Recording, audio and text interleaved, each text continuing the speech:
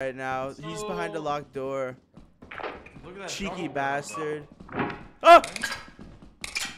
Uh oh. Fine, what's he gonna can do take a shot. Take a shot.